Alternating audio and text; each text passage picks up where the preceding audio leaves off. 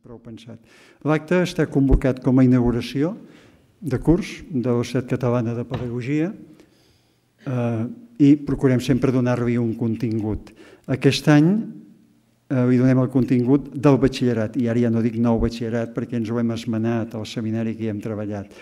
Eh, per tant, fem un acte obert i és que resulta que és molt més obert. Hem hagut de canviar de rebre de sala, de la Pere Joan Coromines, doncs aquesta en previsió de que ningú hagués d'estar dret. Eh, però bueno, això no és la Universitat Catalana de Pedagogia, potser el tema de parlar del batxillerat i ajuda i és important, encara més que hi hagin treballat tota una sèrie de persones eh, prou reconegudes i, i dedicades a l'educació, a l'ensenyament i a la cultura, i potser també al mateix temps doncs, que haguem convidat a un d'aquests participants actius ponents en el seminari, el professor eh, Joan Manel del Pozo, que fes la conferència perquè tots eh, estem disposats i delitosos a escoltar. És a dir, nosaltres mateixos després baixarem a baix i així tindrem la comunicació directa d'ell. Eh, en un primer moment, i el més breu que puguem, conscients de que fem una sessió que no la fem tancada a l'Estat Catalana de Pedagogia i al ser oberta i tenir audiència, doncs molt bé, llavors eh, ajustem, farem el mínim de, de propi de la societat i el que fem és obrir-ho al màxim a tots vosaltres que us pugui interessar.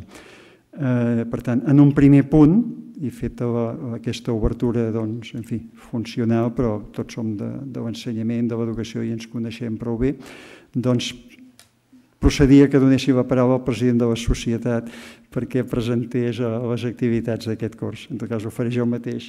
Bé.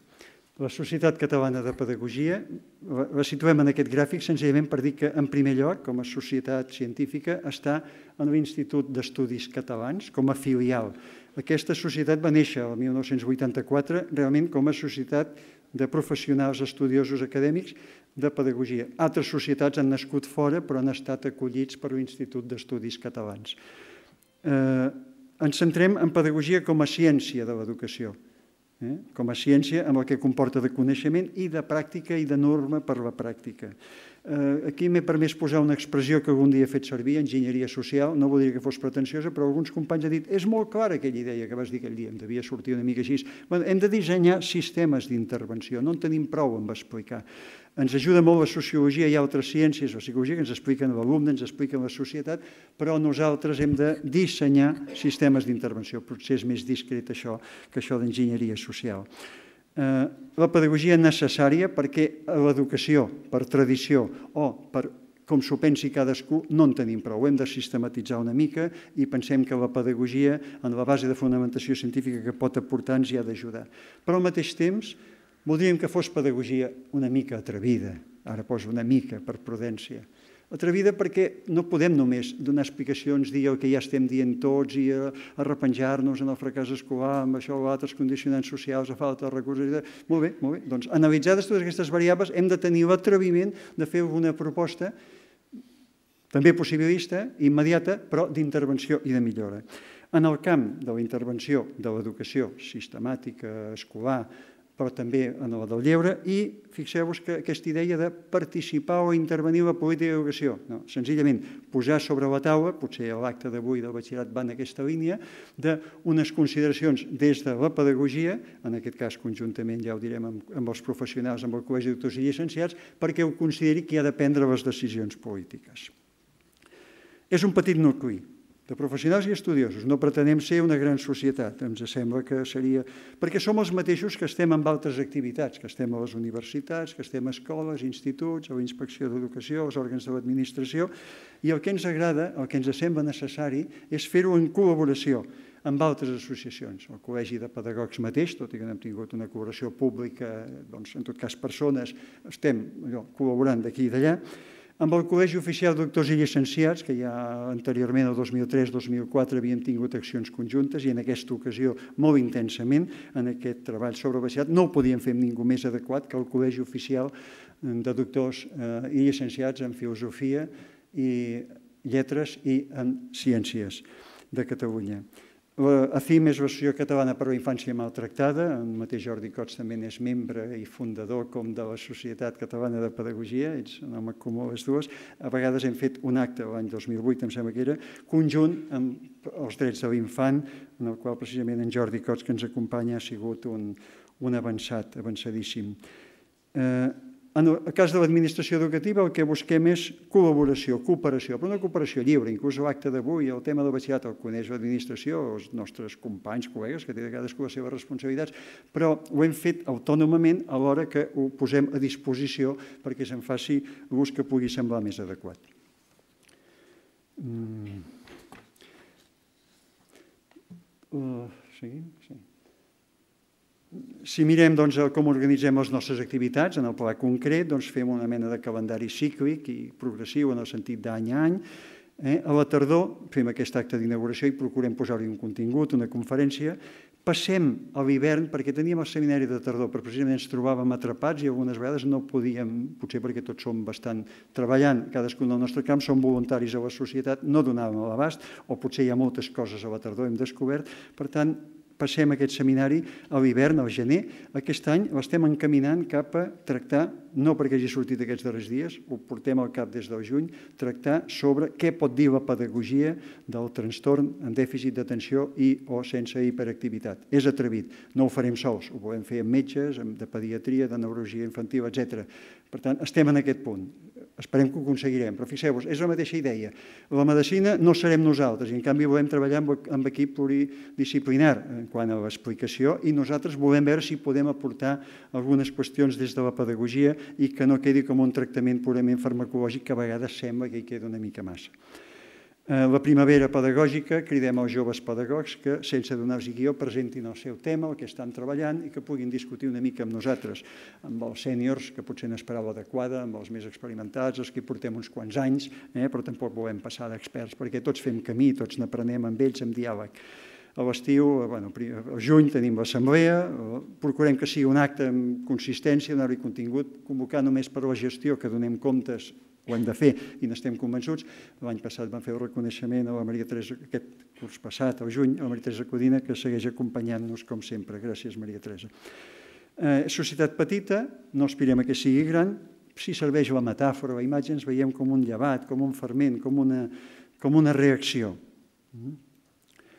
Eh, tenim grups... Deixa'm el rellotge, m'he vist. Disculpeu, el rellotge. El rellotge, el rellotge. Disculpeu la naturalitat. Gràcies. No, és que m'he de senyir el temps, eh? segur. Disculpeu. Els grups de treball que tenim actius, en tenim dos, el de narracions i pedagogia, també a l'Assemblea de juny vam tenir ocasió de presentar-lo, hi ha una web en què s'hi van acumulant els materials, podríem parlar només, hi ha en Xavier aquí mateix, en, en, en perdó, bueno, ells estan treballant en, grup de narracions i pedagogia, i un altre grup que ha començat a treballar molt intensament, petit, però molt buscant persones que puguin dir alguna cosa, elaborar una prova de competència lingüística que pogués eh, valorar als cinc anys la competència lingüística dels alumnes per animar-los a pensar que fer un pronòstic pedagògic que ho tenim bastant abandonat, de que podrien fer més d'una llengua, per tant, podrien començar francès, anglès, anglès, francès, i inclús valorar de quina manera ja des de 6-7 anys per tant, sobre la base a cinc anys d'haver fet un diagnòstic. Això demana una elaboració que pensaven que es podia fer en qualsevol nucli, doncs no està fet, hi ha un equip que hi està treballant que a la mesura possible ho posarà perquè fos una prova ben aplicable a l'abast dels docents, dels alumnes d'aquesta edat. Seguim. Participem en l'institut com a societat filial que som i això ens porta uns avantatges segur, ens sentim segurs en aquesta casa que és l'Acadèmia eh, de les Ciències i les Humanitats, Acadèmia Nacional, com diu el president Salvador Giner, ens hi sentim molt de gust, en tot cas com a societat filial ens comporta uns vincles, uns serveis, unes seguretats i al mateix temps un sentit institucional, per tant, qualsevol activitat que fem sabem que eh, podríem, bueno, forma part d'aquesta institució que ens acull, de la que formem formem part. Eh, participem en els plens de la secció eh, de Filosofia i Ciències Socials, que presideix en González Agàpito, que és membre de la societat també, coincideix, on hi ha uns determinats cicles de conferències sobre immigració, sobre diferents qüestions, doncs que ens hi vinculem, de tant en tant ens toca fer la intervenció d'explicar quines són les nostres línies i activitats Participem en els plens de l'Institut, doncs potser no tan directament, però en tot cas el president és cridat com a membre al ple de l'Institut i això és un, és un gest de, de, de que es vol treballar amb les 28 societats filials de l'Institut i participem quan s'escauen documents d'elaboració vinculats a les qüestions d'educació. El darrer eh, que es va encarregar demanar al president, el president de l'Institut, el conseller d'Ensenyament, doncs va ser en el debat de l'ALEC, doncs a través de la secció de Filosofia i Ciències Socials hi van participar. Mm. Les activitats les fem, doncs, com dèiem abans, a vegades participacions més puntuals. Ens demanen assessorament, doncs hem fet el que millor sabem doncs, en un màster de joventut i societat, que és un màster interuniversitari, al Consell Social de la Universitat de Barcelona. Recentment, aquest dissabte passat, els Premis Valdir i Reixac, jornada de difusió, i ens van cridar demanant la nostra contribució de donar suport i tal. Ho hem fet amb molt de goig com a Estat Catalana de Pedagogia. Érem a Vic aquest dissabte va ser una jornada gratificant i que tothom en sortia content de la difusió de les experiències. Bé, eh, potser més personalitzadament els col·loquis de filosofia de Vic va començar en Conrad Vilanou, membre de la Junta i el més estudiós en quant a les publicacions i ens hi va convidar, jo mateix doncs, hi he participat, que en definitiva nosaltres a filosofia com a filosofia de l'educació, etc, procurant que la filosofia també tingui les seves concrecions. Seguim. Mm, tenim les activitats aquestes contínues permanents que s'han d'anar fent a vegades amb silenci discretament, que demanen molt temps, moltes hores i dedicació. La revista catalana de pedagogia, que amb el Conrad Vilanov van publicar fins a aquests set números, ara ha agafat el, el relleu en Josep Palau, i a més a més el relleu és relleu d'estil de tipus en el marc de l'Institut i de la societat en general. Ho hem de fer per un sistema electrònic a través de l'Open Journal System, etc, del qual es publicarà digitalment de manera més contínua i periòdicament trauríem un volum més breu de les, dels articles, de les aportacions més ben seleccionades. Eh, el Diccionari Enciclopèdic de Pedagogia, una empresa que en Joan Mallar va iniciar el 2003 i ens costa molt, és difícil, potser perquè són pocs, potser farem una crida a acabar de completar-lo, però hem fet tres passos, dos passos, perdó, estem en el tercer. Tenim el Diccionari el 2009, que és el vocabulari multilingüe, amb sis llengües, això és meravellós tenir un català l'equivalència amb sis llengües. Vam conjuntament amb Tercat fer el Diccionari d'Educació que es va presentar a l'octubre de l'any passat i en tot cas, bueno, doncs ara hem de veure si comencem a pujar a la xarxa alguns materials i acabem algunes entrades, especialment de, de història de la nostra educació que encara doncs, estan per fer de la nostra identitat. És un diccionari general de pedagogia en català, però que evidentment tota la influència d'altres pedagogs a Catalunya, com aquelles imatges que circulaven abans, hi havia els catalans i els que han influït sent de fora. Uh, seguim, sisplau, gràcies.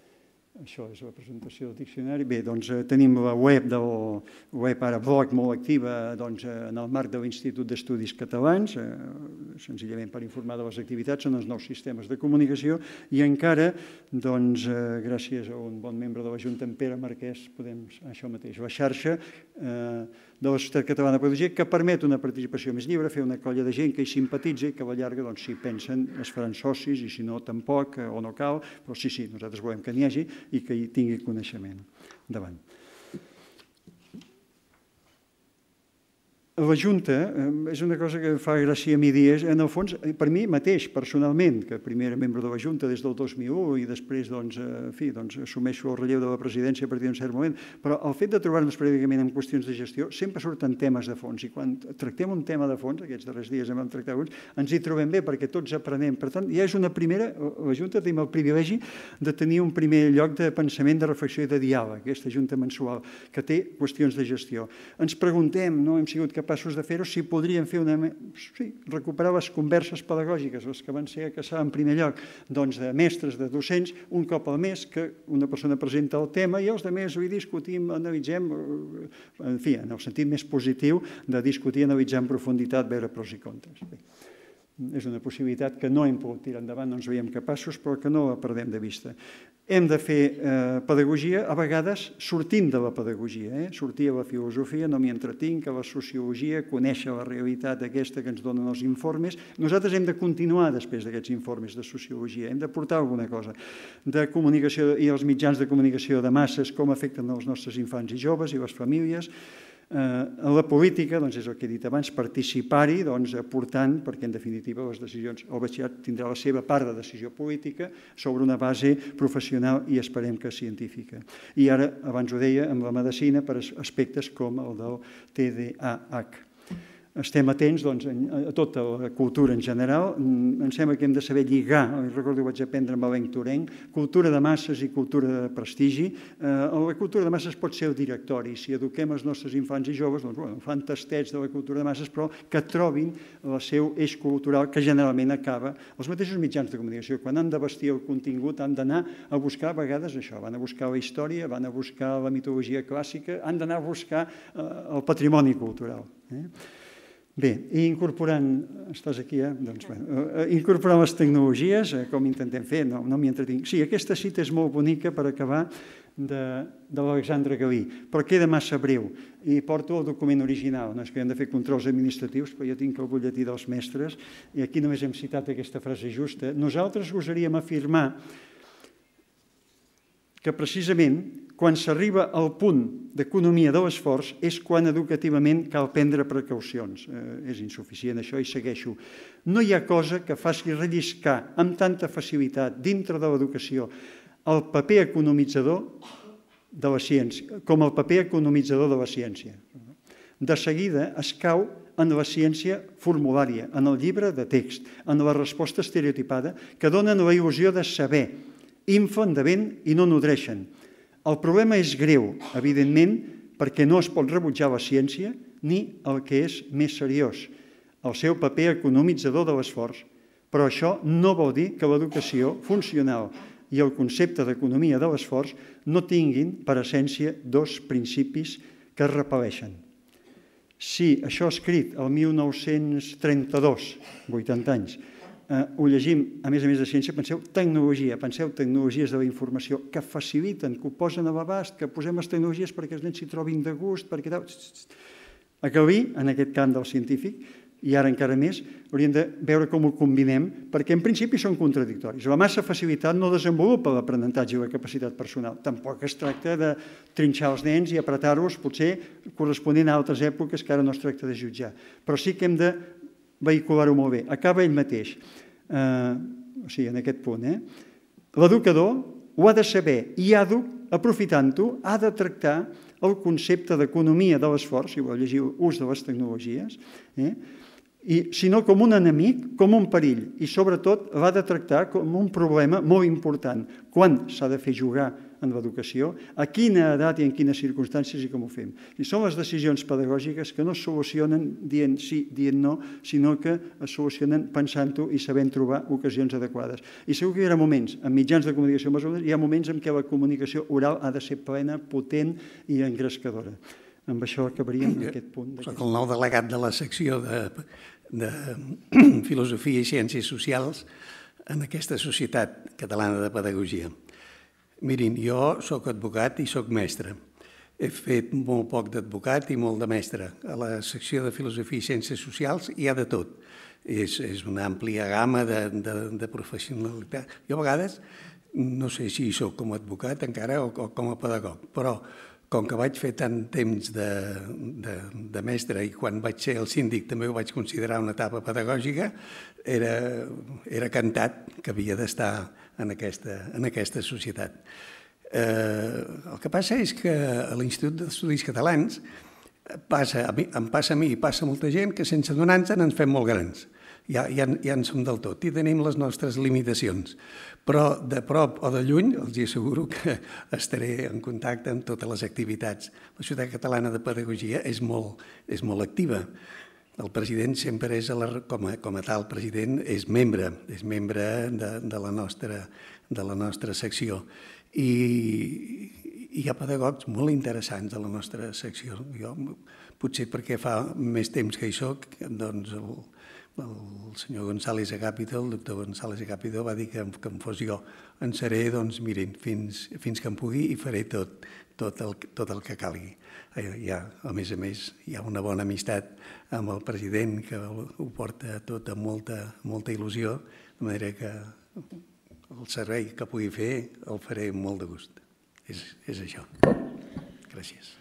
Gràcies, Jordi. Per nosaltres, eh, que sigui un membre de la societat, fundador de la societat, però això, que ha sortit fora de la pedagogia i ho ha mirat des d'altres angles, la infància, des del punt de vista dels drets, és prou important i al mateix temps sabem que té la confiança del president de l'Institut d'Estudis Catalans, doncs que això és, és prou important. Gràcies, Jordi. Passem al següent punt, i clar, faig jo la, el traspàs, la transferència.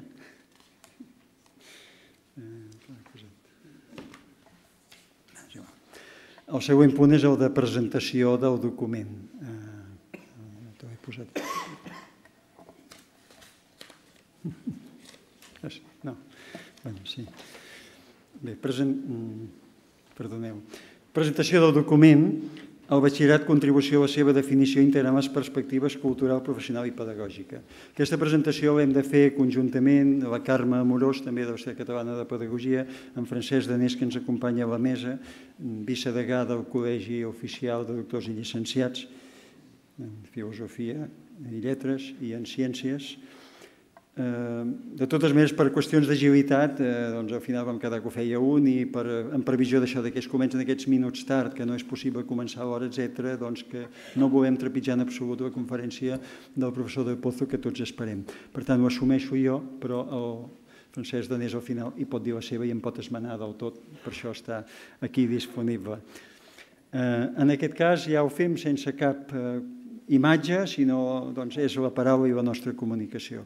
El document el teniu a l'abast i el podeu anar fullejant, en el sentit de passar fulles o en el sentit castellà que a vegades es presta duplicitat, a ojear és amb H i sense H. Vull dir que eh, una mica com deia el mestre Frener, deixeu que els alumnes, mentre callin i escoltin, si un altre llegeix i tal, i van dibuixant, que dibuixin. I això hauríem d'aprendre a fer-ho les nostres classes quan estan amb l'ordinador, no patir-hi gaire. Vull dir, ho tinguin, escolta'm, facin el que vulguin. Jo he d'aconseguir interessar-vos en el meu tema, però és que a més a més, com que estic parlant d'aquest tema, va molt bé que ho estigueu fullejant.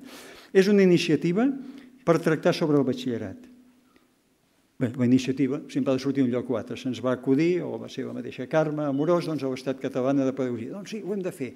El mes de febrer, eh, quan ja es havia dit que, que s'havia de revisar o canviar aquest batxillerat. Bé, del febrer volíem haver arribat al maig i no va ser possible. De seguida que vam tenir-ho pensat, vam demanar l'amplitud a la secció de Filosofia i Ciències Socials de l'Institut d'Estudis Catalans, perquè sabem que això no és un tema de pedagogia de la societat, sinó que això, totes les societats científiques, tenim tots els camps del coneixement representats a l'institut. Això és una, una excel·lència quan tens ocasió de sentir una persona que parla dels fons marins, l'altra persona que parla d'economia. Jo és d'aquelles coses que confesso que, que em gratifica sentir parlar de qualsevol tema. És un petit eh, premi que reps eh, per, per dedicar-t'hi una mica. Però llavors vam dir de seguida, no, hem de comptar amb el professorat, amb el professorat, que els docents és el Col·legi Oficial de Doctors i Llicenciats. D'altra banda, és un organisme consultor en la conferència de col·legis per part del Ministeri d'Educació, Cultura i Deporte, que és en aquest cas qui llançava la iniciativa del canvi del batxillerat. Primer en dèiem el nou batxillerat, però de seguida vam dir, bueno, ja no podem dir el nou batxillerat, és el batxillerat. Eh? Eh, bé, la idea és presentar un document aquest document, en principi, és la idea de presentar-ho al ministre d'Educació, igualment a la consellera, al Departament d'Ensenyament, perquè en les seves decisions de normativa ho tinguin present. Bé, tinguin present allò que una sèrie de professionals que ens vam aplegar i que hem procurat doncs, concretar. Té un format mesurat, Eh? El, el seminari que vam fer, un dia intensíssim, però un dia, i eh, mesurant les diferents perspectives, amb quatre sessions. Les teniu aquí en el programa del, del document. Sí, és que no l'he agafat. Gràcies, Carme. Doncs bé, està, eh, teniu aquí el programa tal com va anar, eh, les quatre, els estudis de batxillerat, els continguts culturals, per tant, les àrees, qüestió de les competències necessàries d'avui i noves formes organitzatives, pedagogia didàctica, en el context dels recursos i de les realitats culturals actuals. Els ponents només tenien 15 minuts per presentar-ho. Prèviament havien fet dos fulls hem d'agrair molt a aquests ponents que teniu aquí la relació tots a l'esquerra, a la pàgina 4, doncs que acceptessin, és que hasta estem sobtats, que acceptessin en 15 minuts de presentar-ho, haver fet dos fulls previs i al mateix temps quedar-se tot el dia participant en el debat. És, és, és com un privilegi, és d'agrair molt aquesta dedicació i ens va semblar que en conjunt doncs, tothom hi estava prou ben interessat. Volíem lligar molt bé especialistes d'àrea de coneixement amb especialistes de pedagogia. Volíem lligar professors d'educació secundària i professors de batxillerat, de centres públics i de centres privats, perquè la qüestió del batxillerat ens afecta a tots i, com es va dir, els ciutadans són del batxillerat que van fer. El batxillerat determina la cultura general que té un ciutadà, molt més que no pas l'especialitat que pugui fer després amb estudis de la universitat. Bé, quan diem batxillerat ens vam senyir el batxillerat per necessitat. Haguéssim volgut fer formació de secundària, incloent la formació professional, però no podíem abastar-ho tot. En tot cas, pensem que el conjunt de la ciutadania entre batxillerat i formació professional, avui en diem de grau mig, doncs hauria d'assolir aquest grau d'educació postsecundària. Eh, Bé, 25 participants preveien perquè fos dialogant, que participessin tots. Al final vam ser 35, perquè i encara gent li vam haver de dir que no, sisplau. Eh? Vull dir, però perquè pogués tothom parlar, ser escoltat, escoltar pensem que déu nhi el que vam aconseguir. Eh? Inclús ens va fer goig que ens demanessin des d'Andorra poder ser-hi presents amb el Col·legi de Doctors i Llicenciats doncs per, perquè estan treballant sobre aquesta reforma del batxillerat. El procediment d'elaboració, doncs molt senzill, un procediment previ, els ponents ens van lliurar les dues pàgines i vam tenir aquesta sessió intensa el dia 28 de setembre. Mm, I aleshores ve el moment negre, el moment difícil, com es fa això? Allà tots vam quedar contentíssims. I a l'acabar, la Carme, el Francesc, jo mateix, eh, l'altre Carme Rider també hi vas participar al teu, el Josep Palau, com ens ho fem? Com, com ho agafem? I el moment inicial és molt difícil, ho veus tot molt negre. Bé, vam tirar veta, de, vam recuperar la memòria de l'estructura de documents de la UNESCO eh? o del Collège de França, recordo l'ensenyament de l'Avenir de l'any 85, eh? per tant, fixeu-vos, de, de la UNESCO i del Collège de França. Eh, que feien principis, consideracions, recomanacions, per tant vam optar per aquesta estructura que ho converteix en una mena d'hipertext, perquè no ho diu tot, perquè està estructurat, perquè es pugui mirar cap aquí, cap allà, de dalt a baix, no té jerarquia, són 15 eh, punts, finalment van quedar, Carme, 15? doncs 15 punts que diuen el que diuen, eh? repeteixo, sense jerarquia, però en tot cas pensem sí que contenen pensament, idees força que haurien de guiar el nostre batxillerat. N'estem bastant convençuts els que hem participat. Després d'elaborar aquesta feina, Francesc Danés, la Carme, jo mateix i amb retocs i tal, ho passem a tots els ponents i als abans potser no ho he dit bé, els que en dèiem responents, és a dir, vam convocar també unes altres persones que no eren ponents de 15 minuts, però que hi eren plenament allà. Per tant, aquest document l'han tingut uns dies, poquets tots, hem recollit totes les aportacions, no hi ha hagut conflicte, perquè penso que la sintonia i la intenció hem coincidit, i per tant eh, ens ha costat poc d'incorporar en general tot el que se'ns ha dit. Aquest és el document que teniu a les mans. Quin contingut té? Doncs bé, mm, no el llegirem perquè eh, per això el teniu. Eh, impresa darrere hora, calentet eh, assumptes de debat públic, si és finalista o preparatori aquest batxillerat, si ha de durar dos o tres anys, eh? si ha de ser especialitat o l'últim que ens han dit, doncs les vies. Penseu que tot això s'estava elaborant previ a que sortís el document pocs dies abans del 28. El que passa és que el dia 28 tots estàvem atents al que havia presentat el Ministeri d'Educació, Cultura i Deporte sobre el batxillerat. Sobre les àrees de coneixement, el sentit i orientació i la didàctica amb els recursos actuals, els alumnes, els professors i la necessitat de revisar una cosa que a primera vista hi passem de llarg, els horaris, de 9 a 10, de 10 a 11, el calendari escolar, però no en termes ara laborals, professionals, sinó en termes de diguem, què convé als alumnes per un contingut cultural, per un aprenentatge cap a la cultura d'aquests alumnes. Eh?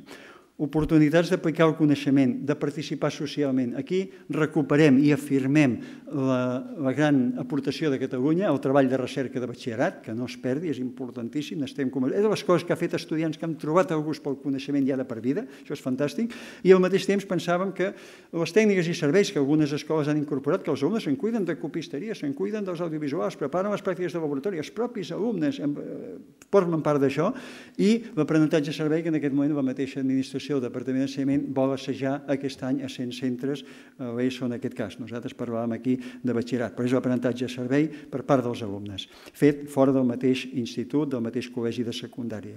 Bé, limitacions el document en té moltes, vull dir, segur, la diversitat d'opcions, en un marc polivalent, com es fa, falta mirar el batxillerat internacional, que haguéssim volgut entrar i potser no hi vam, no hi vam arribar a entrar, eh? eh? la diversitat organitzativa segons el context geogràfic. Bé, nosaltres pensem que només podem fer aquest pas, aquest step, no? i doncs mira, amb els esquirols, cada dia és un nou pas i hem de seguir-ho entre tots.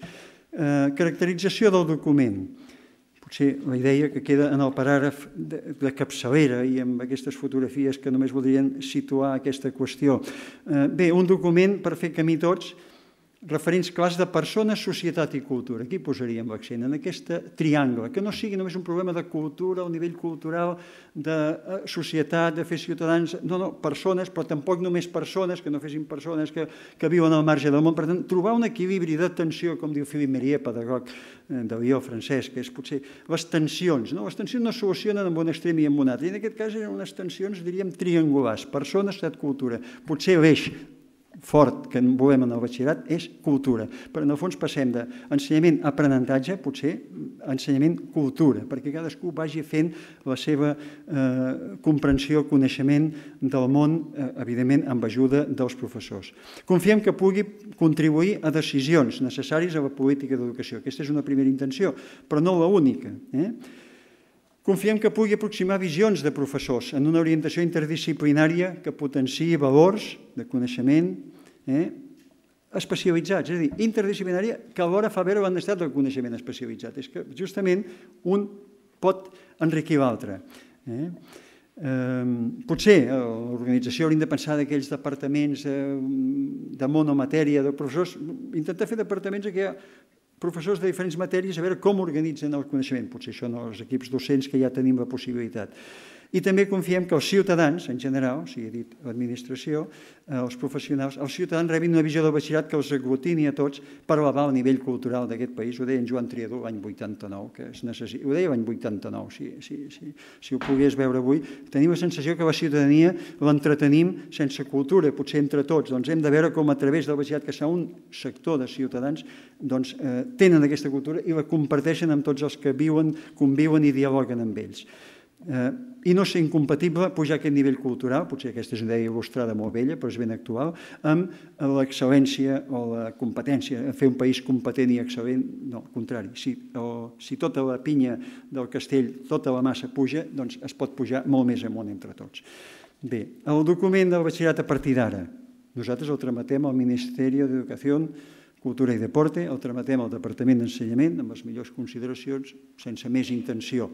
Però us demanem, ens demanem a tots, si sembla bé, que ens en fem difusors. I difusors no vol dir defensors. No, no, no, no, no, està tancat, falten moltes coses, ha de millorar. Eh? Difusors, per obrir un debat arreu, entre els equips de professors i professores especialment. Tots hi hem de pensar i a tots ens servirà quan haguem d'implementar el model legal que s'aprovi, el que sigui. La concreció final no depèn de la llei en si, sinó de la nostra actuació.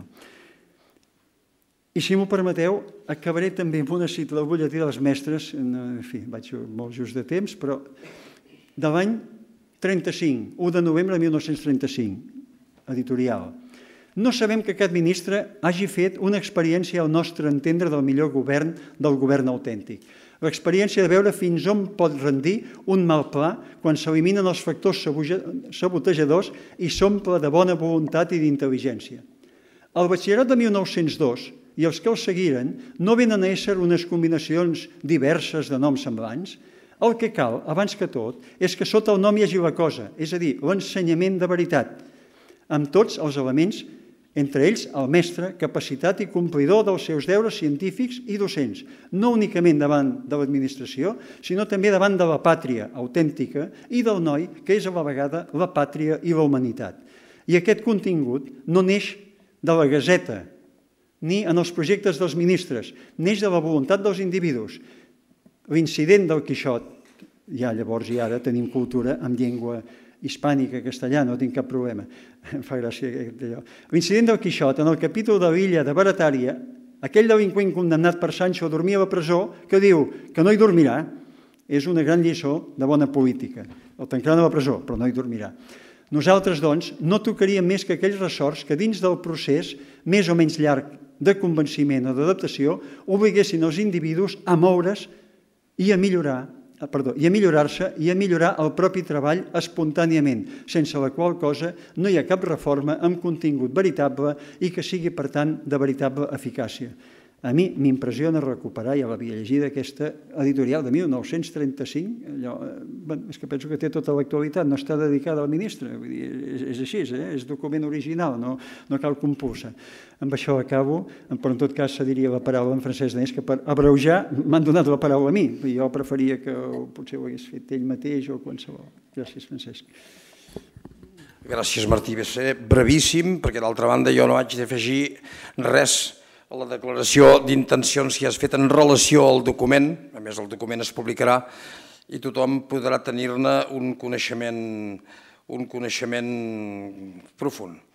El que sí vull manifestar és l'agraïment en nom del, del deganat del Col·legi de Doctors i Llicenciats a la Societat Catalana de Pedagogia per convidar-nos Recordo el dia que vareu venir el senyor González Agapito, tu mateix, el Carme Morós, a l'organització de la jornada de reflexió eh, sobre el batxillerat.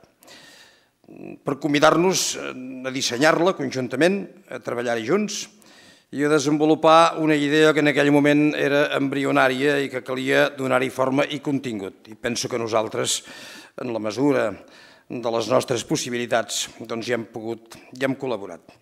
Eh, no cal dir que, sent com som, el Col·legi dels Docents ens interessa qualsevol activitat que s'adreci a l'enaltiment de l'ensenyament, a la seva dignificació, eh, a la millora, en definitiva, de la seva qualitat. Eh, és un aspecte molt present en el nostre programa de govern. La majoria de les accions del col·legi s'orienten en aquest sentit des de molts angles, però destacaria sobretot en l'aspecte concret de la formació del professorat. Però bé, aquesta col·laboració Societat Catalana de Pedagogia, Col·legi de Doctors i Llicenciats eh, té eh, la significació de la suma d'esforços en un tema capdal com és el disseny del batxillerat, sobretot en un moment en què, en fi, tots sabem que hi ha projectes de llei i altres intencions, diguem-ne, més informals, amb un caràcter singularment invasiu, Eh, la discussió sobre com entenem el batxillerat des d'aquí està per damunt, evidentment, de la pretesa bondat d'aquestes lleis, bondat entre cometes, i del seu caràcter restrictiu. Nosaltres hem de fer la nostra. Eh, des de sempre, mm, i no pas amb el vent a favor, hem estat capaços de pensar i de dissenyar els nostres projectes educatius i penso que ho continuarem fent i ho hem de continuar fent. Si repassem la història de la pedagogia catalana de la darrera centúria, veurem que tant com hem pogut hem tendit a l'excel·lència, potser no hi hem arribat, però sí a resultats molt plausibles i, torno a dir, amb moltes dificultats per tirar-ho endavant. Bé, aquesta jornada s'inscrivia, s'inscriu en aquesta intenció i, per tant, doncs, celebro tota iniciativa que tendeixi a continuar aplegant esforços del col·lectiu docent, eh, en un doble sentit. Escoltar la veu dels especialistes, els vàrem sentir, però jo convidaria també a escoltar la veu de tot el col·lectiu docent, tant com sigui possible, és a dir, les opinions dels qui treballen a peu d'aula, amb tants parers dissemblants eh, com vulgueu, però sí amb, amb la intenció d'integrar-los tots, amb una intenció, amb una voluntat, diguem-ne, bé, no sé si la paraula es cau en aquest registre, amb una voluntat ecumènica, ja està dit. Eh, i, res més. Eh? Amb la seguretat que tindrem la convicció suficient per tirar això endavant, que tindrem el coratge, que tindrem la competència professional i tindrem el rigor per continuar en l'intent de vestir el nostre propi projecte educatiu de país, a desgrat de totes les dificultats. Moltes gràcies. Gràcies, Francesc. Amb això acabaríem justos de temps aquesta primera part. Faríem el relleu de la mesa i donaríem la paraula al professor de Pozo, que no cal que jo presenti perquè tots coneixem i durant un temps li va correspondre conduir el Departament d'Educació. Per d'altra banda, professor de la Universitat de Girona, perdó, amb prou autoritat i que l'escoltarem amb molt de goig. No, no us ho prengueu com a descortesia, però me n'he d'anar que m'excuso davant de vosaltres i especialment perquè era una oportunitat, feia tant temps que no la veiem, però no, no puc quedar-me de debò. Moltes gràcies. Per l'estona que es Gràcies.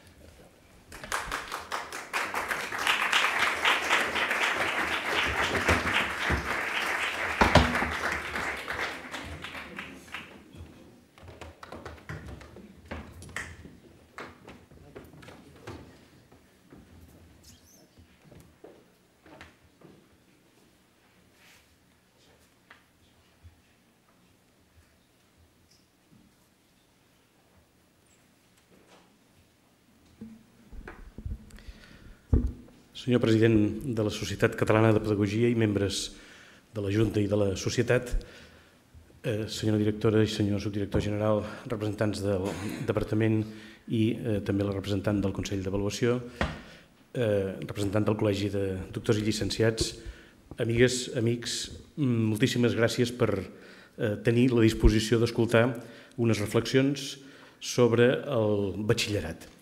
Eh, jo haig d'agrair per damunt de tot la confiança de l'encàrrec, que és a més a més un honor de parlar en aquesta casa de, del saber català. Eh? Eh, confiança que naturalment a mi em representa un, un repte, però que assumeixo amb, amb interès i gust. Agraeixo també l'assistència i la disposició de totes les persones que heu vingut aquesta tarda per acompanyar-nos en aquest acte inaugural de curs i agraeixo també l'ocasió d'haver estat invitat en aquest seminari del 28 de setembre, si ho recordo bé, eh, que va ser una sessió de treball intensa en la qual jo vaig poder participar de manera íntegra, però sí que haig de dir que he aprofitat la lectura dels documents encara en fase d'esborrany però molt avançat, dels quals, sens dubte, partiré. I el que volia dir també en aquestes proves inicials és que el meu propòsit no serà en absolut comentar el document, no tindria cap sentit perquè òbviament tothom té la capacitat sobrada d'entendre'l eh, eh, cadascú en la seva lectura particular, però sí que eh, he pretès partir del document per la meva reflexió eh, de forma que s'entengui que voldria haver captat l'esperit del document, els seus principis, i que en tot cas la interpretació que faig, òbviament, només és una interpretació estrictament personal, és a dir, no represento a ningú, ni a la Societat Catalana de Pedagogia ni al seminari mateix. Eh? Per tant, es tracta d'un esforç estrictament personal, però vinculat a un esforç eh, col·lectiu i espero que no molt allunyat del seu esperit. Agraeixo també a l'avançada la confiança que representa que en un acte de solemnitat acadèmica com aquest trenqui una regla que és la de llegir el discurs. Eh, jo me n'escapo tant com puc, m'estimo més l'espontaneïtat de l'explicació i, eh, per tant, haig de demanar aquesta llicència que espero que, que em concediu d'explicar-me eh, a partir d'unes notes amb la voluntat també de ser més propositiu que preceptiu. En cap cas voldria ser preceptiu, però certament una redacció tancada que llegeixes eh, s'acosta més a la preceptivitat i una explicació espontània com la que intento fer se suposa que és més oberta i més modesta per part del que l'explica. També voldria demanar, en aquest moment eh, inicial, una petició, eh, demanar una petició, una redundància, vull demanar-vos simplement que apliqueu un cert coeficient corrector, cadascú sabrà en quina quantitat, coeficient corrector a la baixa, de totes les explicacions, de tots els termes, més ben dit, que puguin sortir com ara culminació, plenitud, arrodoniment, completesa, en el sentit que eh, no pretenen ser conceptes acabats i tancats, sinó suggeriments. Eh? Eh, per tant, reduïu, com deia, eh, el seu valor mm, una mica absolut que podrien tenir, perquè en educació com la vida res no es tanca de manera definitiva fins al moment mateix de la mort i, per tant, eh, la, completud, la completesa, més ben dit, eh, la completesa humana és sempre paradoxalment incompleta per definició. Faré la meva exposició, intentant atendre'm al temps que se m'ha indicat, eh, en quatre parts. Una primera, puig que el títol general, com saben, és el batxillerat sentit i valors, dedicat a una petita reflexió sobre, permetin-me la petita broma, el sentit del sentit, és a dir, què volem dir quan diem sentit. Un segon punt referit al marc acadèmic, en el qual tot eh, la part final, que és la dels valors, que seria la més important, s'ha d'entendre que se situa. Un tercer punt, el marc humà, i un quart punt, que seria el dels valors del batxillerat. Haig de dir també que l'explicació té un caràcter de desideràtum, o si volem dir-ho a la moderna, de wishful thinking. Eh? És a dir, eh, jo em plantejo el que m'agradaria que fos, no el que és el batxillerat en aquests moments, ni el que podria ser a partir dels documents legislatius o prelegislatius que s'han posat en marxa. Però crec que el valor també d'aquest tipus d'aportacions és que passa a formar part d'un procés col·lectiu que podria acabar tenint efectes també sobre la mateixa redacció eh, legislativa. Anem, doncs, al primer punt, aquest del sentit del sentit. Buscar el sentit de les coses és una ceba filosòfica però també una ceba general de les persones que no tenen formació filosòfica. I és que sovint persones amb cultura modesta fan servir en ple sentit l'expressió això no té sentit. És a dir, hi ha moments en què la persona se sent intel·lectualment bloquejada, psicològicament incòmoda, socialment fora de lloc. Eh? I una manera de dir-ho és això no té sentit.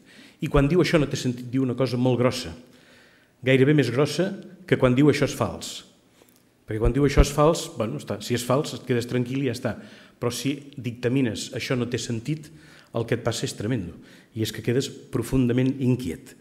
Per tant, eh, cercar el sentit de les coses és molt ambiciós. Eh? És una expectativa de resposta plena, de resposta eh, harmònica i satisfactòria d'inquietuds moltes vegades profundes. I trobar el sentit, en aquest cas, del batxillerat, sens dubte no és fàcil, però sí que tenim l'obligació i la necessitat íntima de trobar-li un sentit. El sentit, de forma absoluta, segur que és una pretensió a la qual ningú de nosaltres s'entregaria ni en un moment d'eufòria. El sentit. Però trobar-li un sentit sí que és possible i crec que tenim l'obligació d'intentar-ho. I, modestament, jo faré la meva petita aportació en aquest sentit. Eh, dotar de sentit algun procés eh, té, diria jo, dos mm, components. Un, la idea de marc, i un altre, la idea de finalitat. Ens fem càrrec del sentit de les coses quan som capaços d'emmarcar-les, és a dir, de trobar-les referències que se suposa que són fermes, o menys, més o menys fermes, en relació a les quals la cosa que ens preocupa pot tenir un anclatge. Les coses o les activitats eh, desemmarcades generen inquietud i poden generar allò, l'expressió, això no té sentit. Per tant, una idea és la idea de marc per fer-nos càrrec del que vol dir sentit. I una altra és la idea de finalitat, tan o més important que la idea de marc. Certament es pot ser més o menys, per dir-ho amb expressió filosòfica acadèmica, teleologista, és a dir, amant de plantejaments finalistes, i hi hauria filòsofs que dirien que això és massa aristotèlic i que no, no cal ser tan finalista. Bé, jo la veritat és que en aquest punt sóc aristotèlic i crec, sincerament, que la causa final, que diria el savi, eh, és profundament important per donar coherència als processos vitals. Els éssers humans actuem en funció de finalitats i ens convé molt tenir finalitats clares que ens serveixin de motor. Eh, S'atribueix a Einstein, però ja sabeu que aquestes atribucions poden no ser exactes, però en qualsevol cas no li farà mal al prestigi extraordinari d'aquesta intel·ligència humana, s'atribueix a Einstein la següent expressió. Mai com ara la humanitat havia tingut uns mitjans tan excel·lents al servei d'unes finalitats tan confuses. I és un diagnòstic una mica tràgic, perquè el que ens està passant és això, és dir, que la nostra societat ha estat capaç de generar el que podríem anomenar un riquíssim instrumental per tots els aspectes de la vida, des de la comoditat casolana d'una rentadora de roba fins a eh, la, tot el que té referència a la comunicació, la informació, eh, els mitjans de transport, etc etc etc. Eh? Tenim, per tant, més instruments que qualsevol altra etapa de la humanitat, més refinats, però, en canvi, el dictamen atribuït a Einstein diu aquests instruments no sabem el servei de quines finalitats els hem de posar. La qual cosa ens ha de preocupar. I podríem dir que persones, com tots els presents a la sala, que d'una manera més o menys indirecta, directa o indirecta estem relacionats amb la pedagogia i amb l'educació, crec que tenim l'obligació de reflexionar seriosament sobre les finalitats educatives. Se sigui més o menys aristotèlic. Eh? Eh, crec que el concepte de finalitat té alguns valors importants. En primer lloc, té el que es diria també amb una expressió clàssica, vis atractiva, és a dir, força d'atracció. La finalitat t'estira cap a eh, algun bé o algun valor eh, desitjable. Si tens la finalitat clara, t'orienta el camí, et dona pauta i llum per poder seguir un determinat camí, mètode o forma de procedir. Anima l'esforç. Si tens la finalitat clara, t'anima a esforçar-te. Quan et ve el desànim i la depressió és quan no saps el servei de què estàs treballant. És molt fàcil que aleshores caigui la teva capacitat de concentració. I, en darrer terme, la finalitat permet justificar la decisió, és a dir, la finalitat fonamenta i ajuda a la responsabilitat. Eh? Per aquesta raó val la pena de pensar eh, en les finalitats, en aquest cas nostre avui, que haurien de correspondre al batxillerat. Abans de tancar aquest primer punt, eh, en el qual mm, reivindico la idea de marc i la idea de finalitat com a dotadores o facilitadores de sentit, permeteu-me un parell de referències molt breus a dos marcs no importants. No són els importants, els importants venen a continuació. Però està bé agafar la referència d'un marc poètic i lamento molt no tenir la seguretat de l'autor de la cita, si algú la sap enriquirà la sessió, però algun poeta va escriure la veritable pàtria humana és el batxillerat. És a dir, la pertanyença aquella del sentiment de lloc des del qual jo construeixo la vida amb seguretat, amb punts de referència estables, eh? Eh, és el batxillerat. És a dir, és aquell moment en què completes el procés de formació que ve de, de l'etapa més infantil eh? i que et deixa les portes de l'edat adulta i on estableixes les relacions humanes més riques de tota la vida que poden durar, i normalment duren tota la vida, però que són punt de referència absolutament principal. Bé, deixem aquest petit marc poètic. Un altre petit marc, el marc etimològic. No hi ha unanimitat, pel que he pogut fer, eh, per la petita cerca que he pogut fer, sobre l'etimologia de batxillerat. Però diria que la més creïble de les etimologies és la que ens diu que batxillerat, la nostra paraula, deriva a través del francès del llatí baccalaureatus, que té el doble component de laureatus, és a dir, coronat amb llorer, tradició clàssica, eh, les victòries de tota mena, victòries olímpiques, victòries literàries, tràgiques, etc. Eh, el llorer era la forma, llorer al cap, de distingir el, el vencedor, eh, laureatus, perquè porta llorer, i vaca, perquè vaca en llatí és eh, un fruit carnós, un fruit pulpós, que pot ser un raïm, que pot ser una mora, eh, i que sembla que en la tradició inicial de les eh, universitats a l'edat mitjana els eh, estudiants el seu primer grau el celebraven bacalaureats, és a dir, amb llorer ple de fruits tipus raïm, tipus mora, etc. Bé, podríem dir allò, se non è vero ben trovato. El que sí sembla clar és que el laureatus, aquest és eh, gairebé, diríem, necessari des del punt de vista etimològic, que el laureatus significa que eh, el batxillerat representava l'assoliment d'un punt d'èxit, d'un punt de perfecció, d'un punt ara allò que us deia, apliqueu el coeficient corrector a la baixa, eh, de completesa, de rodoniment. Bé, deixem-ho aquí perquè, repeteixo, aquests dos marcs, eh, el literari i l'etimològic, són menys importants que els dos que anem a veure ara, que són el marc acadèmic i el marc eh, humà. Marc acadèmic, què vull dir amb això? Home, primer de tot, que el batxillerat no pot deixar de ser vist com una part del procés de l'educació formal.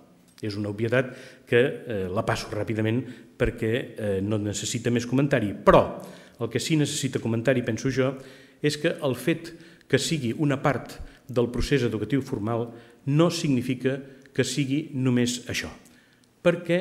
Perquè tenim una tendència, i els educadors i pedagogs i mestres i professors encara més, tenim una tendència a fer una interpretació una mica restrictiva del sentit de l'educació, en relació a la qual jo proposaria considerar el lema d'una universitat nord-americana que diu quelcom tan bonic com això. L'educació no és la preparació per la vida, és la vida mateixa. És a dir, en l'educació no hi ha una funció entrenadora per quan arribi el partit de debò, no és un assaig general per quan arribi el moment de l'escenari i el públic contemplant sinó que l'educació ja és vida plena. Eh? De tal manera que això referit al batxillerat li fa prendre un vol especial, per la raó que direm a continuació que serà el marc humà, que ara només anticipo. El que sí em sembla, també lligat amb això que acabo de dir, és que eh, no podem deixar de fer, justament si creiem que l'educació és vida, com diria també Xirau, que té un llibre preciós sobre, sobre això, eh, no podem deixar d'entendre que l'educació és un acte d'humans sobre humans, de persones sobre persones, de caràcter integral. És a dir, que no mira només aspectes estrictament cognitius, sinó que tota la vida està implicada en el procés educatiu. els processos de consciència, de coneixement, d'emocions i efectes, de llibertat i de responsabilitat, de sensibilitat estètica i cultural, de sociabilitat democràtica i fins i tot d'aspiració a la felicitat. Tot això ha d'estar sempre reconegut i viu en qualsevol fase del procés educatiu i, si m'ho permeten, especialment en el batxillerat, pel que té de culminació i pel que té de situació en un moment determinat de la vida molt important. Bé, s'ha dit, i és una obvietat també, que el batxillerat eh, expressa la cultura màxima personal de tots els que acabaran sent dirigents de la societat, perquè és cert que amb la tradició que ja està absolutament instaurada, segons la qual cada carrera universitària exclusivament es dedica a la promoció del coneixement especialista, és a dir, l'enginyer només estudia enginyeria, el metge només estudia medicina, el filòsof només estudia filosofia, eh, l'historiador només estudia història, Bé, eh, allà on finalment s'ha estudiat tot és en el batxillerat. I això certament ens ha de fer sempre rumiar, perquè acabarà resultant que la cultura màxima d'una societat serà la cultura de les seves classes dirigents, que és la del seu batxillerat. Per tant, podríem acabar dient que tal serà la cultura del batxillerat, tal serà la cultura de la societat. La qual cosa no fa sinó responsabilitzar-nos, especialment en relació als continguts d'aquest batxillerat. Bé, si anem a veure el marc acadèmic una mica més de prop, és a dir, si fem un zoom d'aproximació, eh, hem de relacionar el batxillerat amb el seu abans i el seu després. És a dir, el batxillerat té una característica que no sé si l'hem de definir com a bona, dolenta o indiferent, que és que està al mig. Està al mig i potser no hi hauria d'estar, però està al mig està al mig de l'educació general, obligatòria, i de l'educació superior, a la qual legítimament aspiren moltes persones.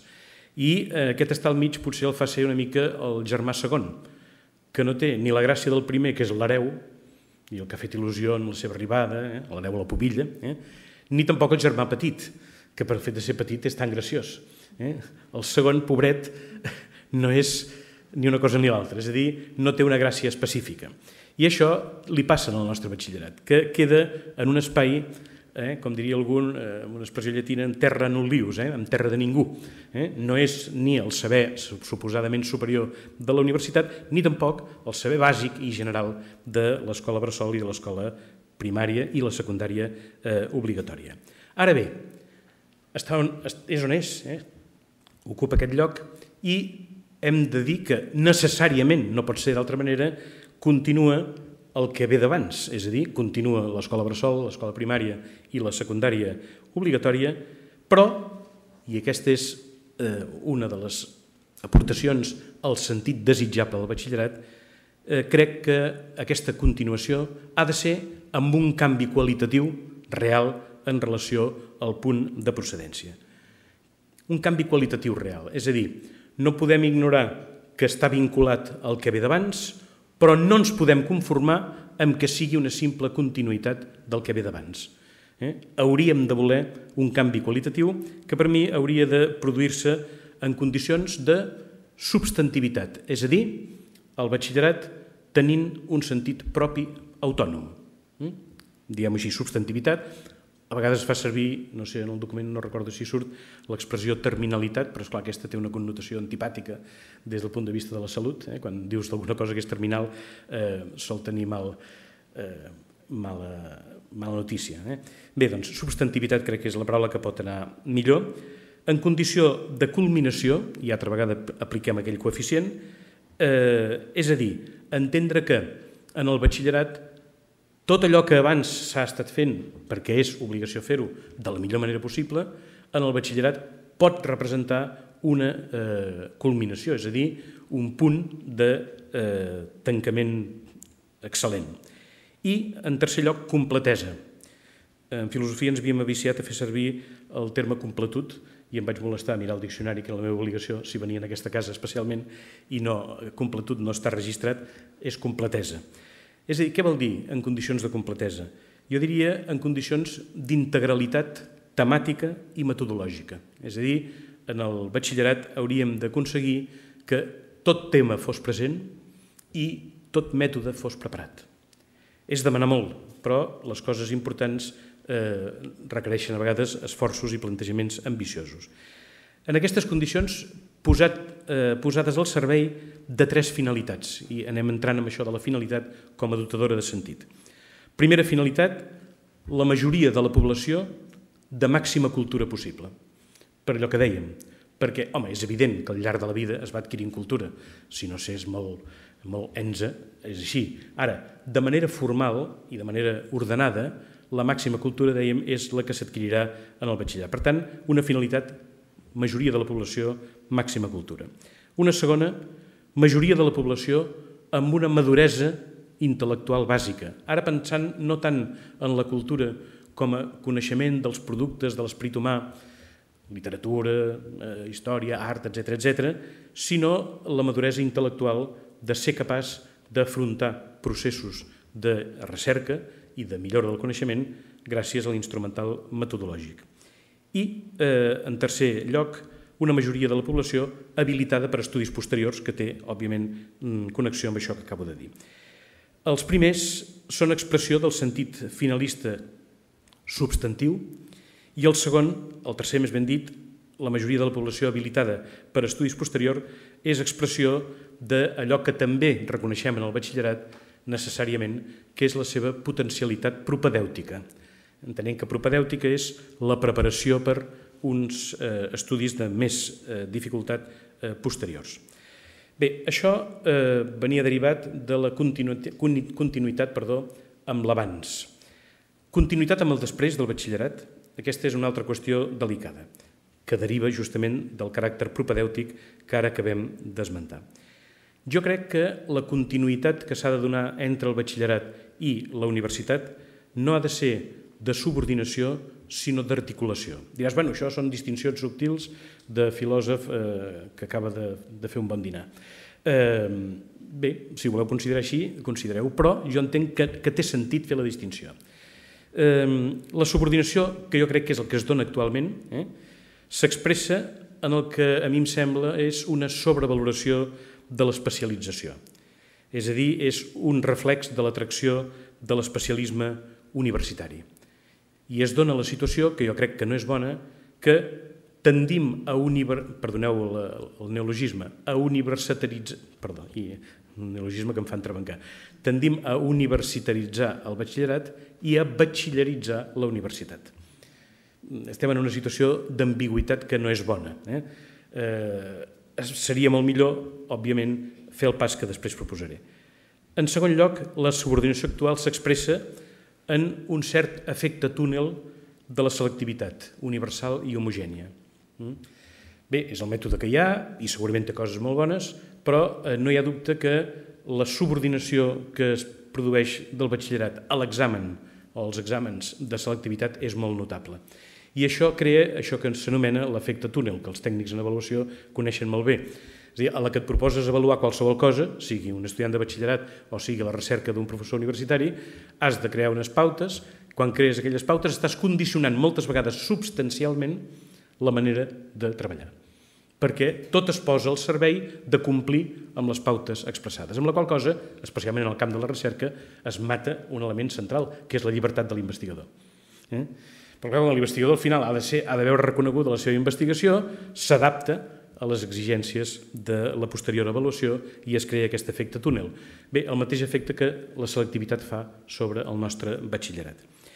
Crec que passar de la subordinació a l'articulació consistiria en el cultiu de manera molt preferent i molt lliure de competències generals, instrumentals i globals. És a dir, entendre que el batxillerat és eh, una etapa en la qual eh, allò que és fonamental ha de quedar establert, perquè ja hi haurà temps després de caminar cap a terrenys d'especialització. En segon lloc, l'articulabilitat aquesta que proposo rauria en l'enriquiment cultural no academicista, cosa difícil de fer. Mm? Però, sens dubte, eh, sense caure en l'academicisme i en formalismes exagerats, el que sí és segur és que l'enriquiment cultural dels nois i noies de batxillerat hauria de ser un objectiu de primeríssim ordre eh, d'interès social. I, en tercer lloc, l'articulabilitat aquesta rauria també en un esperit de mètode eh, obert, flexible i adaptable a totes les sortides possibles.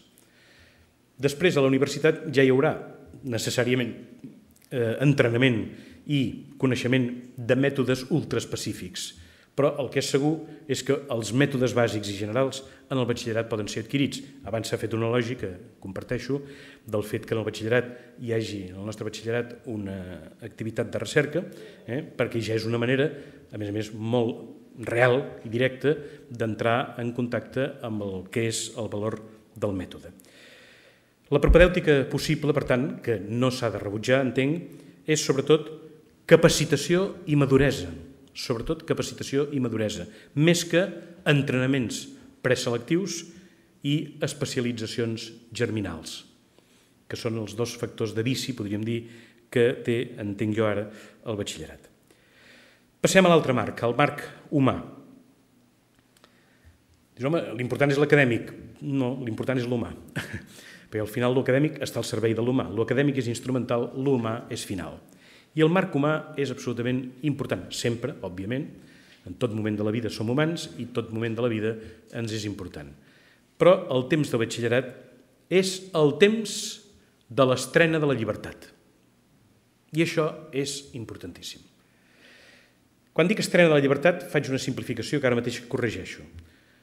En bona educació de la llibertat i per a la llibertat, la llibertat s'estrena al bressol, i es practica des del bressol i des de l'etapa infantil i des de l'etapa mm, púber o preadolescent i adolescent. Però pel que sí és cert és que la societat ens diu que és als 18 anys quan s'adquireix formalment el reconeixement de persona adulta i el procés psicològic que tots vivim, eh, sigui quan érem adolescents, eh, reconeixent-nos a l'arribar als 16, 17, 18 anys que ja érem persones amb voluntat de decidir, o quan hem estat pares o mares eh, veure que efectivament és així, és a dir, que, que t'ho reclamen i t'ho demanen. És el temps de l'estrena de la llibertat i això és importantíssim per l'educació. Per tant, el batxillerat hauria de ser també també un espai de riquesa humana, de gaudi de la llibertat amb les seves millors condicions, que vol dir, òbviament, també de la responsabilitat. I no diem responsabilitat per aigualir la festa de la llibertat, perquè entenem que la responsabilitat no només no igualeix la festa de la llibertat, sinó que és la seva ànima. Mm? Sobretot si de la responsabilitat no tenim una noció restrictiva, que és la que associa responsabilitat a una mena de sentit de l'obediència. Eh? Eh, jo recordo de la meva infantesa que quan em deien Joan, siguis responsable, sigues responsable, en realitat m'estaven dient Joan, sigues obedient. Eh? No és això. La responsabilitat és entenc jo, proposo que s'entengui així, la capacitat de vincular el valor central de la llibertat amb la resta de valors de la vida. I aquest és un plantejament enormement positiu, eh? en el qual hem d'intentar educar els nostres nens i nenes ja abans del batxillerat, però sobretot els nostres joves en l'etapa del batxillerat.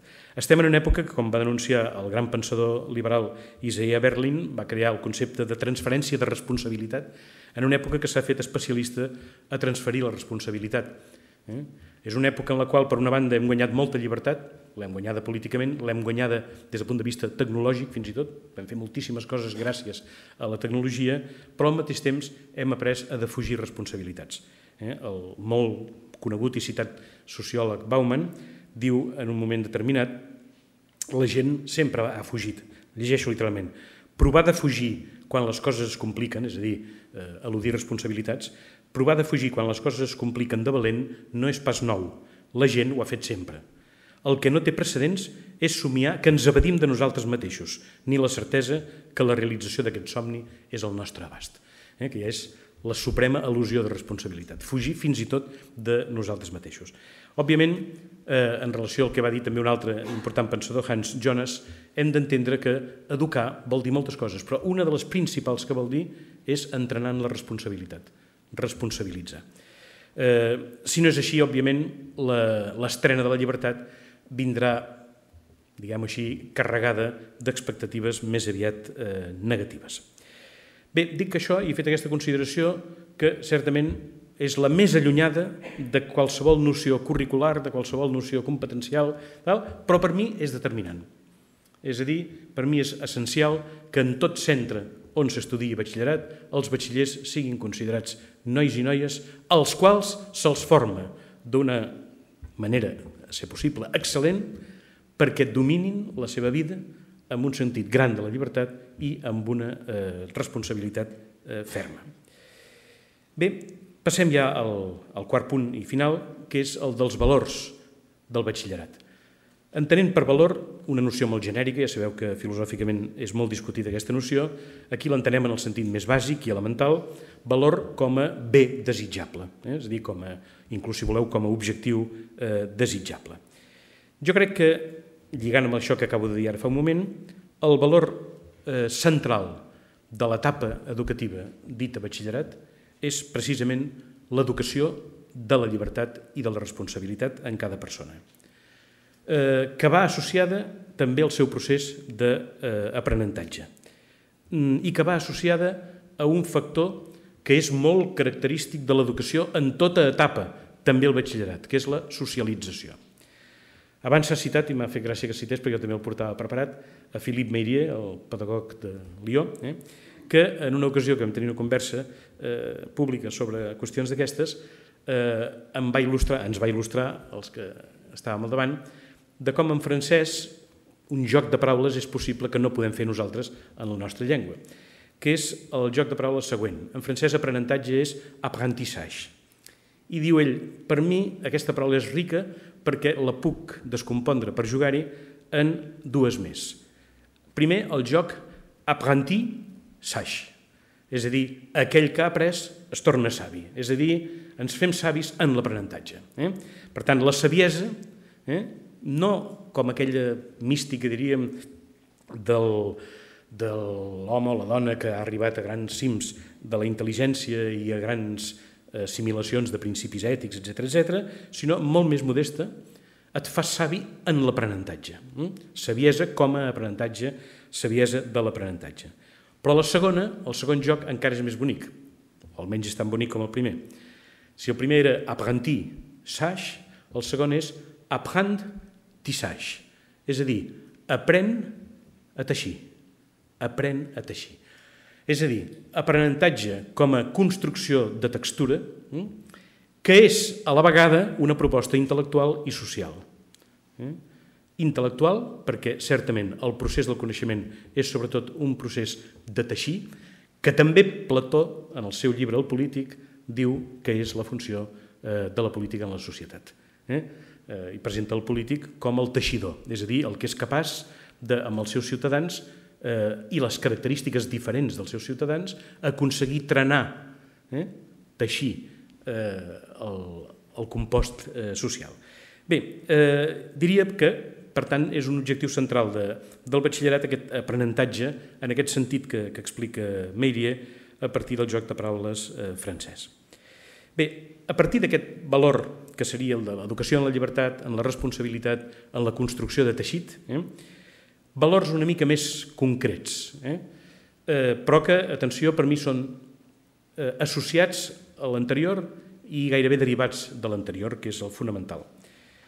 En primer lloc, els valors que jo anomenaria humanístico-cívics, és a dir, els que estan associats a una tradició amb el venerable concepte d'humanisme al darrere, que eh, barreja diversos elements de la vida de manera molt significativa.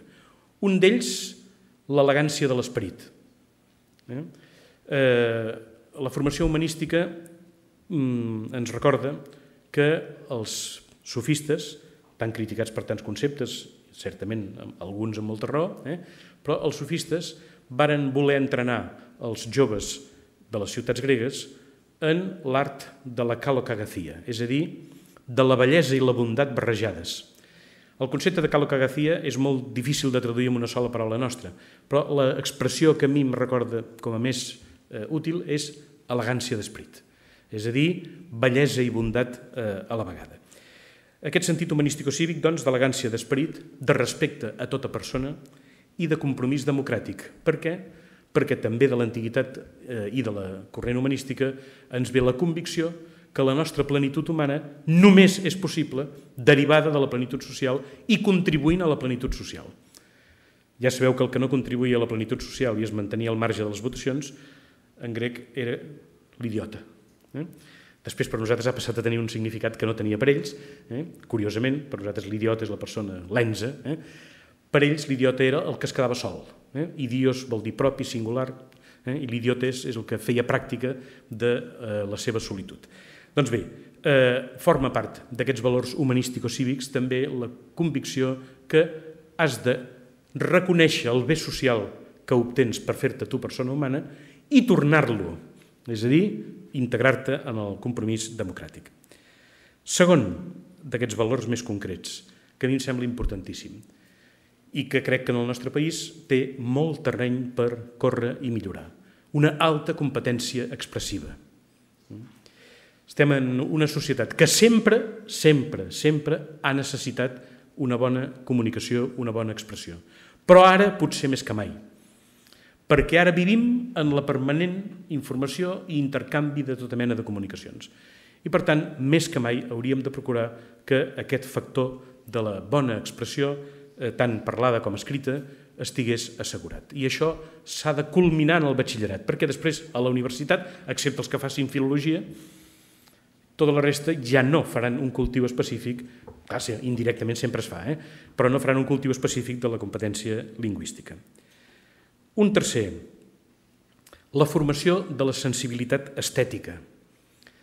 Entenc que una persona completa és una persona que també cuida la seva sensibilitat al goig del patrimoni cultural, al goig de l'art. I crec que la nostra educació en general, també la del batxillerat, té també terreny per millorar en, eh, la, en la millora de la sensibilitat estètica. I un altre associat al món que vivim, el món de la comunicació permanent. El que un italià va batejar amb el nom d'alfamedialització. És a dir, igual que parlem d'alfabetització, que fa referència a les nostres lletres, eh, modestes i precioses lletres, doncs bé, l'alfamedialització, que vol dir alfabetitzem-nos en el reconeixement de les tècniques dels mitjans de comunicació, no per res, per ser capaços de ser crítics del que ens arriba a través d'una multitud de mitjans de comunicació. I com que la vida contemporània està sotmesa a la pluja informativa i comunicativa, si no dotem els nostres estudiants de batxillerat d'una alta alfa medialització, els estem deixant desprotegits davant de la llau informativa caòtica i eh, desordenada. I molt important, importantíssim, la formació científica en el sentit dur de la paraula, si em permeteu que faci servir aquesta expressió. Es diu, i és cert, que eh, cada vegada costa que hi hagi més nois i noies mm, dedicats a carreres dites de ciències dures, eh, que representen un esforç intel·lectual eh, molt important. És trist que sigui així, eh, perquè sabem que en aquestes ciències fonamentals, diríem, física, biologia, química, etc., eh, aquí s'aguanta un edifici importantíssim l'edifici de la tecnologia i l'edifici de la societat en molts aspectes. Eh? Bé, eh, en el batxillerat els nostres estudiants s'haurien de poder enamorar de la ciència. Home, ja haurien de venir enamorats d'abans, eh? perquè tot el, ja hem dit que hi havia continuació. Eh? Però en el batxillerat hauríem d'aconseguir això. Eh, però permeteu-me que ho digui també, després de dit aquest principi, eh, amb un aspecte que normalment és descuidat i que a mi em sembla lamentable que sigui descuidat que és fomentant el sentit històric de la construcció del coneixement científic. Abans hi havia hagut una assignatura que es deia Història de la filosofia i de la ciència. Parlo d'un abans pleistocè superior aproximadament.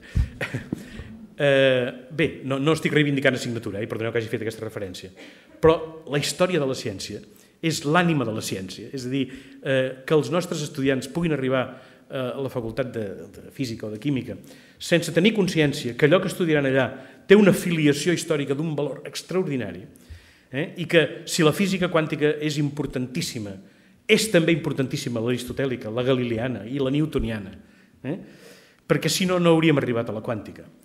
I que un dia probablement la quàntica serà també superada per una altra i que la història de la ciència és una història de certeses provisionals, que són tan certes com provisionals i tan provisionals com certes. Eh? Viure en el que podríem anomenar aquest esperit de la modèstia de la ciència pel seu sentit històric. El sentit crític de la metodologia. La metodologia sabem que és realment la condició sine qua non de la construcció científica. Bé, no cal que hi doni més voltes. Eh? Això s'ha de formar també en el batxillerat. I una altra, tan important com la primera de la, del sentit històric, el sentit contextual. Eh? És a dir, eh, allò que en diríem en un tema així pomposament acadèmic, relacions, ciència i societat. Perquè, igual que vivim en una societat hipercomunicada, vivim en una societat hipercientifico-tecnificada. Eh? Eh, I, per tant, per entendre aquesta societat i desplegar-se en aquesta societat, eh, tenir la capacitat de contextualitzar els processos científics i tècnics en relació a les expectatives socials i els problemes socials que crea, eh, perquè aquí podíem introduir fàcilment els grans temes relacionats amb el progrés científic i el bloqueig social, per exemple, el canvi climàtic, per dir un dels més coneguts. Eh? I qui diu això? Doncs tots els temes biomèdics, tots els temes informàtics, etc etc. Eh? Informàtics, per exemple, control de la informació íntima, eh, capacitat de manipulació, etc etc. Bé, contextualitzar els problemes científics em sembla absolutament necessari. Com em sembla necessari, ja que parlem d'això, i fixeu-vos que abans hem parlat de valors humanístico-cívics i ara de valors científics, superar allò que ja es havia dit fa molts anys, als anys 50, les dues cultures, aquella trista història dels de lletres i els de ciències, que és lamentable, perquè no respon a la naturalesa del coneixement, que és únic. Mm? És a dir, no té cap sentit aquesta distinció eh, que pot, pot tenir algunes funcionalitats, però jo crec que és perversa des del punt de vista dels principis.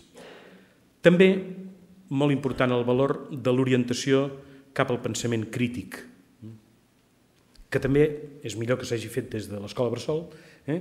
però que almenys en el batxillerat hauria de quedar consolidada i afermada.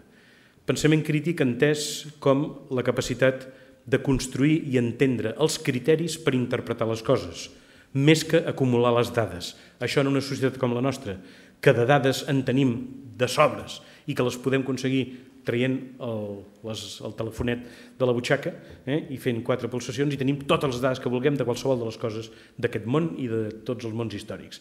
Per tant, la, les dades han passat a ser, home, no diré irrellevants, però han passat a ser secundàries. El que passa a ser principal és el criteri de selecció de les dades i d'interpretació de les dades. Eh? El pensament crític és el que eh, fa tasca fonamentalment hermenèutica, interpretativa. En segon lloc, el pensament crític posa en valor el sentit processualista o històric de tota cosa humana. Ja Aristòtil va dir, permeteu-me que torni a citar el savi venerable, eh? quan conec una cosa des de l'origen, en conec millor la seva naturalesa. Mm? Que ell sabeu que el preocupava molt la naturalesa o essència. Eh? Bé, va descobrir també, perquè era fill de metge i havia jugat, bueno, jugat, sí, sí, jugat eh, amb plantes i animals, eh? va descobrir que les coses tenien processos i que si coneixies el procés entenies molt més bé la cosa. I això es pot dir de tota cosa humana, que sempre és històrica. Abans hem parlat de la història de la ciència, podem dir el mateix de tot. Per exemple, de la política. Per exemple, de la política, eh? on el sentit històric és molt deficitari, precisament. Mm? I això té les conseqüències que, que acaba tenint. Bé, en tercer lloc, el pensament crític és contextualitzador, és a dir, encaixa en els marcs eh, tota cosa, eh, eh, dona al context un valor d'ajuda per interpretar el text i, finalment, el pensament crític té una actitud permanentment autocorrectiva, és a dir, està preguntant-se en tot moment si allò que estic fent ho estic fent bé, per canviar si resulta que descobreixo que no ho estic fent bé. És a dir, aquest esperit que és eh, eminentment científic d'autocrítica del mètode eh, en tot moment. I un valor també molt important al batxillerat, que ho és també en tota etapa educativa, però aquí més, perquè certament el noi i la noia es troben confrontats a una selecció de possibilitats de desplegament de la seva vida, estudis universitaris i altres, eh? Eh, i la funció orientadora, és a dir, l'orientació en el batxillerat hauria de passar a ser encara més important del que sigui en aquest moment, perquè realment és eh, necessari. I això fet des del millor esperit tutorial, entenent aquest esperit tutorial no d'una manera paternalista, eh, sinó d'una manera dialogant, activa, respectuosa, empàtica, que reconeix la singularitat i l'autonomia, però ajuda, amb criteri de persona més experimentada i de bon coneixement, a les tries de les persones. Bé, dit tot això, eh, insisteixo en que només la meva modesta persona és responsable de tot el que he dit. Això no compromet ni el seminari, ni el Col·legi de Llicenciats, ni la Societat Catalana de Pedagogia, però si resultés que pot ajudar en algun sentit, me'n sentiria molt, molt content. Eh, I em permeto de tancar eh, l'exposició amb una cita d'una humanista, una filòsofa nord-americana, que casualment, però no la cito per això, casualment eh, és premiada amb un premi important eh, de l'estat espanyol, eh, Marta Nussbaum, que en el llibre Sense ànim de lucre diu cap al final això. Avui dia encara afirmem que ens agrada la democràcia i l'autogovern i també pensem que ens agrada la llibertat d'expressió, el respecte per la diferència i la comprensió dels altres. Ens omplim la boca parlant d'aquests valors, però pensem molt poc per què hem de fer per transmetre'ls a la generació següent i assegurar-ne la supervivència. Distrets per la cerca de la riquesa material, cada cop demanem més a les nostres escoles que es converteixin en útils generadors de beneficis, també materials, en comptes de formar ciutadans reflexius. Sota la pressió de reduir costos, retallem precisament aquelles parts de l'esforç educatiu que són fonamentals per conservar la salut de la societat. Què ens trobarem si aquestes tendències continuen? Nacions de persones tècnicament preparades que no saben com criticar l'autoritat, persones útils per generar beneficis amb una imaginació obtusa. Com va dir Tagore, serà un suïcidi de l'esperit. Què pot ser més temible que això? L'ocasió idònia per no caure-hi, per la transmissió d'aquests valors que ens permetin no suïcidar-nos espiritualment, seria un bon batxillerat. Moltes gràcies.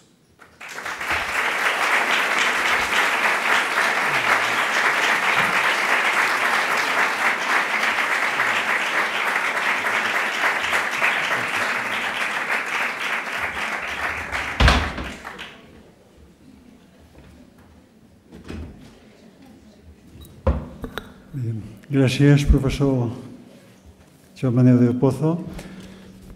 Mm, tenim uns minuts, potser podrem parlar si, si ell ens concedeix, de, encara que el tibem una mica i potser el fem parlar una mica més, mm, però jo per introduir-ho veig que és una lliçó clarament acadèmica, lliçó magistral, i no per això deixa de ser una lliçó comunicativa, que és una versió que jo dono perquè avui hem de trobar la manera d'equilibrar el caràcter magistral i ben construït amb la capacitat de seduir, que coincideix amb el que deies a batxillerat. Aprofito per anticipar, i me recordava la secretària de l'Estat, la Carme Rieder, gràcies, que mm, el text eh, el transcriurem, així es vam quedar, i la secció de Filosofia i Ciències Socials, amb González Agàpito, i en vam tractar. Però no serà immediat.